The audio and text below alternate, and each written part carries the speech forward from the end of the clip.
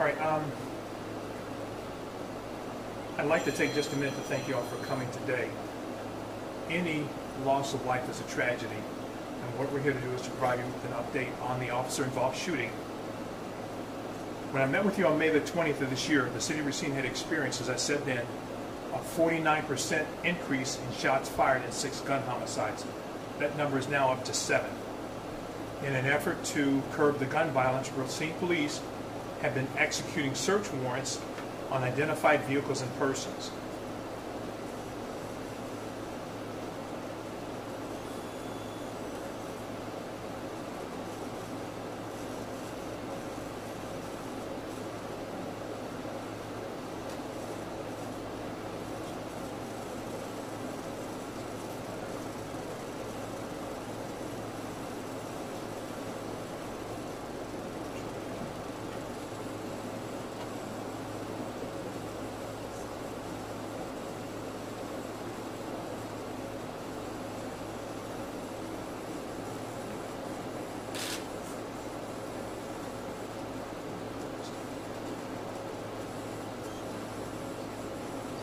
Slight technical glitch.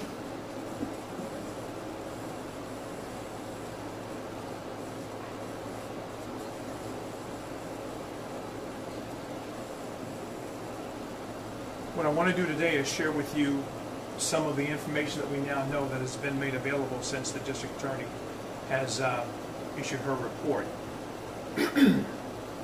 As I said before, we were executing search warrants on vehicles and identified persons. Da'Shontay King and the vehicle he was driving were named in one of the search warrants. So what I'm about to show you provides context to the statement that I made on May the 20th. What I'm about to show you are instances where Da'Shontay King made a series of decisions that had tragic consequences. What I'm about to show you is a body-worn camera footage from that day, which is graphic in nature. Officer Zachary Brenner was in a marked police vehicle in uniform of the day when he initiated a traffic stop on a vehicle identified in a search warrant for a felon in possession of a firearm.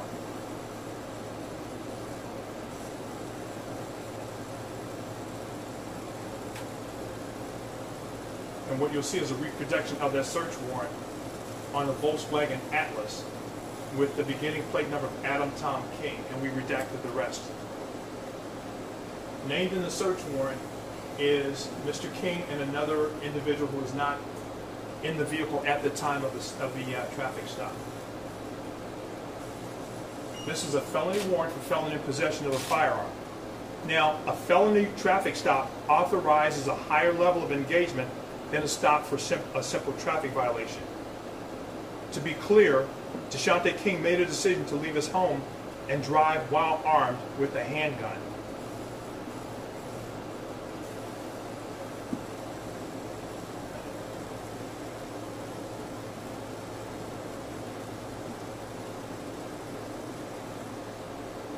In 2003, Mr. King was convicted of a felony. He was found guilty of felony possession of a firearm by a felon on two different occasions. He was convicted of felony second degree reckless endangering of safety, and he's also had a conviction for three open felony court cases at the time that we of his death.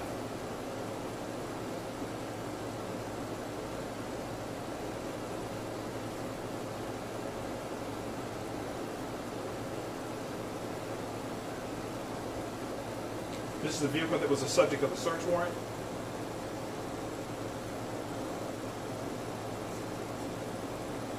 And this is where the stop was initiated. Upon noticing the car behind him, Da'Shontay King pulled into the driveway of a house where he does not live in order to effect his escape.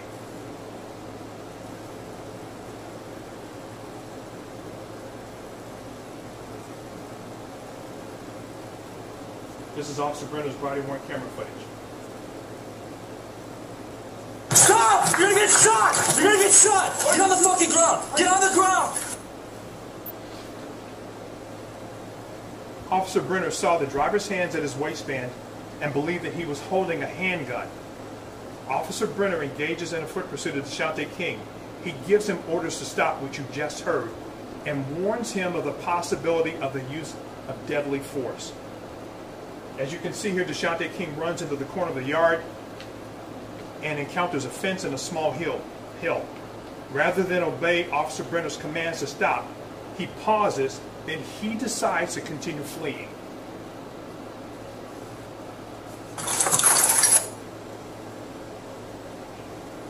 Officer Brenner reaches out with his left hand, which is slightly out of view, to grab Da'Shontay King's clothing, but he was not able to hold on. Officer Brenner then reholsters his weapon to climb the fence and continue the pursuit. You'll see right very shortly here, reholsters his weapon. You'll hear it click. Hear it? Stop! You're gonna get shot! Officer Brenner continues to give him orders to stop and warns of the possibility of the use of deadly force. Once again, Da'Shontay King decides to continue running rather than submit to arrest.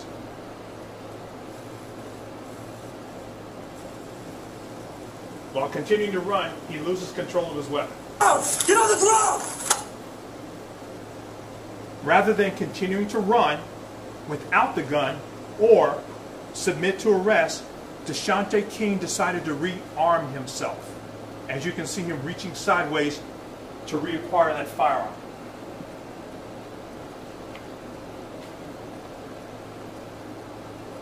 This action resulted in Officer Brenner discharging his service weapon at the perceived danger that Da'Shontay King represented by rearming himself.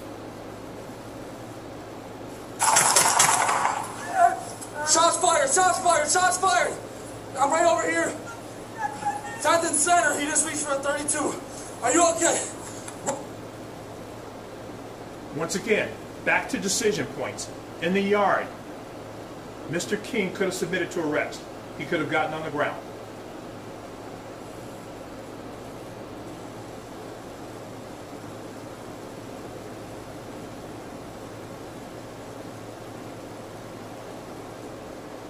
That's the firearm in his hand when it first is, is uh, visible to um, Officer Brenner.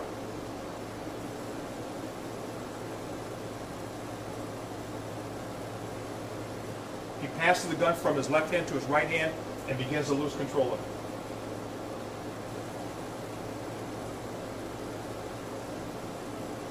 See, he's trying to get his leg up to regain control of the firearm.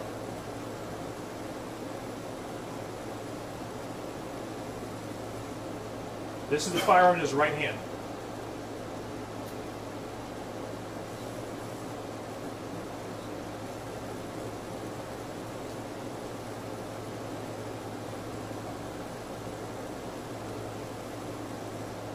This is when he loses control of the gun. And at this point, once again, he makes a decision. He could have run without the firearm. He made a conscious decision to rearm himself.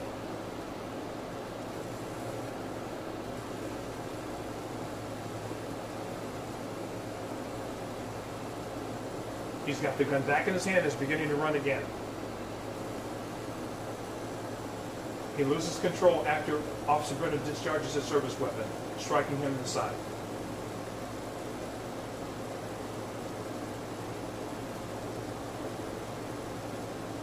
This is the weapon that was recovered.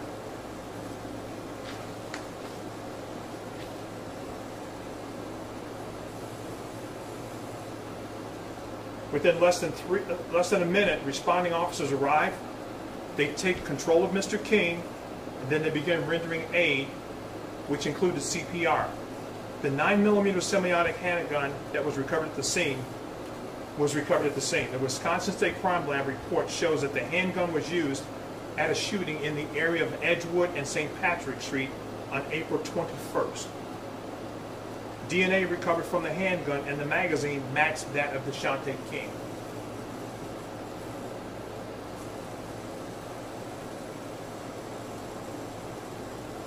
Officer Brenner has been a member of the Racine Police Department since January 2018. He's received 12 commendations, and in his five years on the department, he has received no disciplinary actions.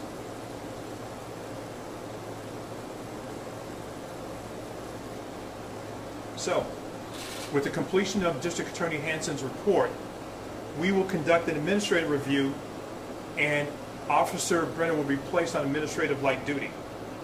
We have the expectation that this review will be completed in 30 to 45 days. And then upon completion of the, of the administrative review to ensure that there was no violation of department policy or procedure, we will do an update on Officer Brenner's duty status. I'll now take two or three questions. Uh, Chief Robinson, are you prepared uh, for how the community will react to the video? Yes. What will, ideally what will happen that- is that the community will see that this was a tragic event that was, could be avoided. And what this community will begin to do is to reach out to its citizens and encourage them, if you are a felon in possession of a firearm, that you don't have a firearm. That you are not engaged in a crime. If you find yourself in that unfortunate circumstance, that you will surrender yourself to arrest. That you will not put yourself and the rest of the community at risk. When you see that video, what do you think of the job that he did as his boss? He did as he was trained to do. He was, he gave plenty of commands and opportunities and warnings, and waited to see what would happen as long as he could.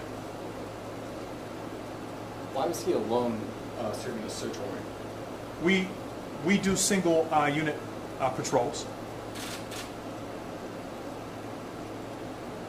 And he will be relieved of his duty, lightweight, what was that, what would that consist Well, of? he's on, he's on administrative leave now. We'll put him on administrative light duty where we'll bring him back into the department, reacclimate him, have him doing some administrative work that will assist us while we're going through the administrative review.